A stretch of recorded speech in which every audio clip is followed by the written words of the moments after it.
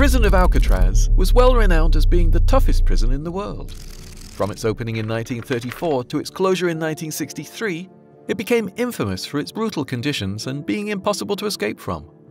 The life of a prisoner at Alcatraz was tough, to say the least. But unlike other maximum security prisons, Alcatraz had a reputation for its brutality. Many prisoners complained that life there was inhumane, the punishments cruel, and that its conditions were causing many inmates to go insane.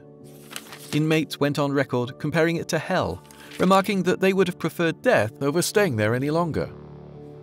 Just off the coast of San Francisco, California, Alcatraz Island was already used as a military fort from 1850, but in late 1933, the United States Department of Justice acquired it, thinking the location perfect for America's worst criminals.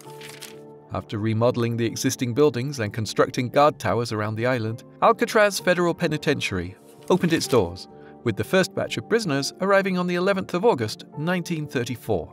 Mostly consisting of murderers, bank robbers, and counterfeiters, Alcatraz was intended as a last resort for prisoners who caused trouble and attempted to escape elsewhere and had no real hopes of being rehabilitated. Famous gangsters like Machine Gun Kelly, Mickey Cohen, and Al Capone all served time at Alcatraz, with life at the prison causing Capone's mental health to deteriorate to such an extent that he had to be transferred elsewhere. By its first anniversary, Alcatraz had a population of 242 inmates, and in its 29 year history, 1,576 prisoners passed through its doors. Most of those inmates went on to speak of the horrors within. For the life of an inmate confined at Alcatraz, each day was a struggle. Locked in a tiny cell measuring 9 feet long by 6 feet wide and 7 feet tall, prisoners had little to occupy their minds and were managed by a strict routine. Woken every day at 6:30 a.m., the inmates were sent off for breakfast at 6:55 a.m. And by 7:30 a.m., those who behaved and were permitted to work would start their shifts. Work at Alcatraz could be helping out in the kitchen or with laundry. After the outbreak of World War II, it also involved sewing military uniforms, cargo nets, and other things for the army. Lunch was at 11:20 a.m., followed by 30 minutes rest in their cells before heading back to work until 4:15 p.m then dinner at 4:25 p.m. Meal times in Alcatraz were 20 minutes, and the prisoners were allowed to eat as much as they liked. For all of Alcatraz's faults, the meals served in its dining hall were said to be the best in the entire American prison system. But any food that was wasted would be reported and could result in punishment. Prisoners' basic rights were food, clothing, shelter, and medical attention. Everything else was considered a privilege and could be quickly taken away as punishment. One such rule was the Code of Silence that operated until around 1950, banning prisoners from talking at any point, even during meal times. After this rule was lifted, inmates were allowed to talk, but only in a whisper.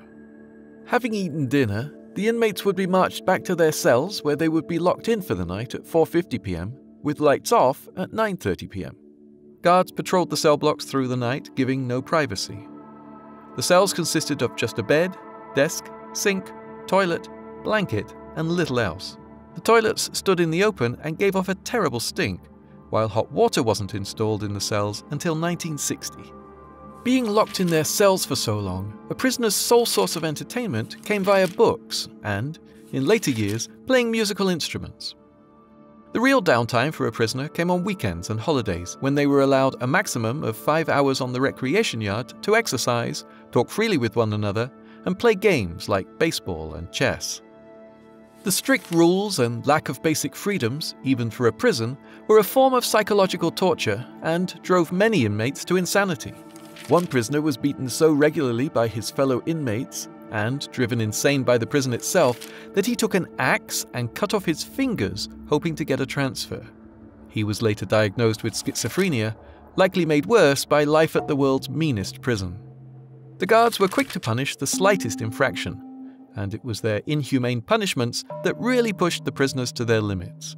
Anyone who misbehaved would not be allowed to work, would lose their privileges, and would be sent to solitary confinement, usually for between 3 and 19 days, depending on the severity of what they had done, although many were confined for far longer.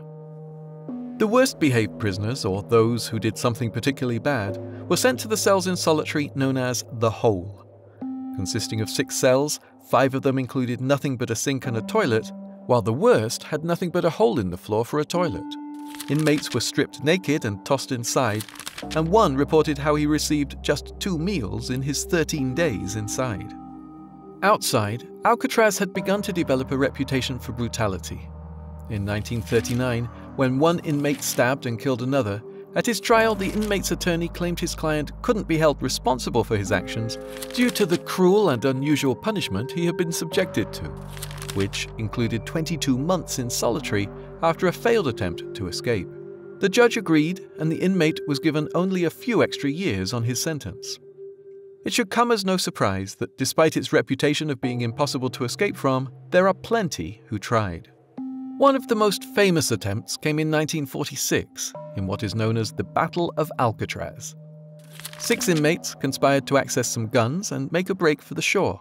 However, after getting the guns and taking some guards hostage, their initial plan fell through and they attempted to shoot their way out instead.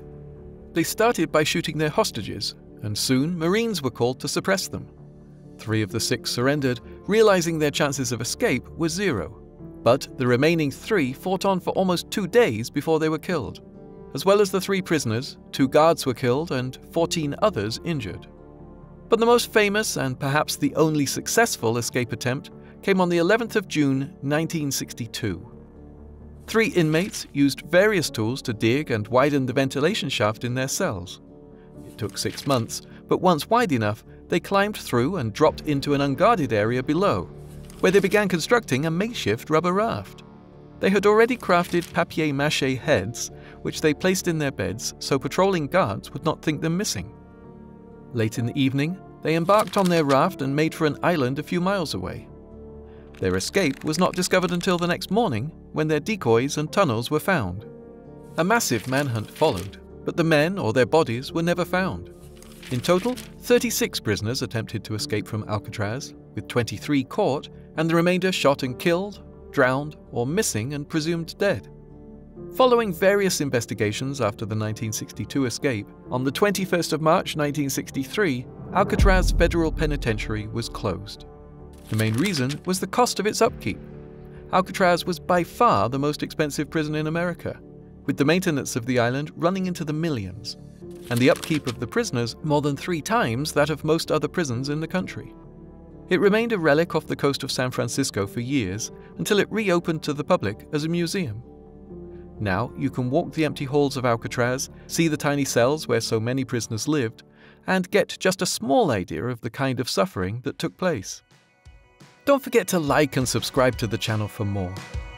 If you enjoyed this video and don't leave a like, maybe you deserve a spell in Alcatraz yourself.